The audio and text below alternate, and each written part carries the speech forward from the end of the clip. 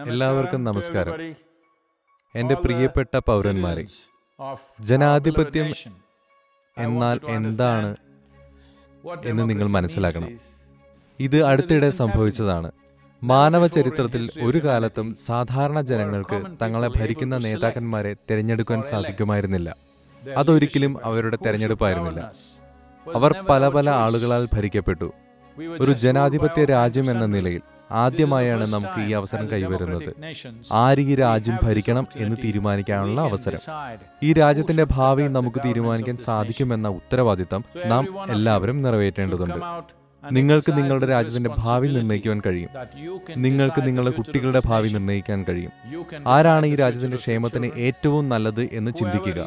നിങ്ങളാണ് തീരുമാനിക്കേണ്ടത്. ആർക്ക് വോട്ട് ചെയ്യണമെന്ന്. മതം നോക്കിയിട്ടല്ല. ജാതിയോ വർഗമോ നോക്കിയിട്ടല്ല. ആരെങ്കിലും നിങ്ങൾക്ക് പണം നൽകുന്നത് കൊണ്ടുമല്ല പക്ഷേ ഈ രാജ്യത്തിന് ഏറ്റവും മികച്ചത് നിങ്ങൾ തിരഞ്ഞെടുക്കേണ്ടതായിട്ടുണ്ട്.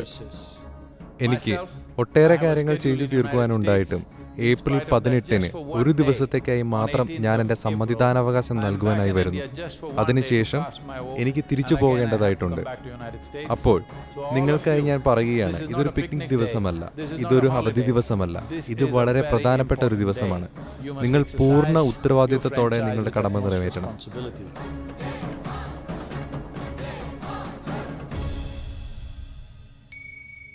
जा